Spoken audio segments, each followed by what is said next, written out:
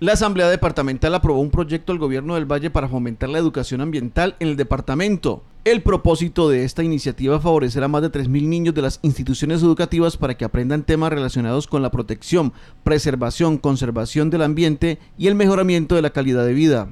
Este proyecto consiste en que 3.773 niños y niñas de las instituciones educativas que hacen parte de área de cobertura de nuestros centros operativos, que son Juan María Céspedes en Tuluá, el Parque Natural Regional del Vínculo en Buga, vayan a la Hacienda del Paraíso, vayan al Museo de Calima y al Museo de Ciencia Natural de aquí en Cali, mm, disfruten de una experiencia conociendo eh, eh, todas las características que tiene el medio ambiente.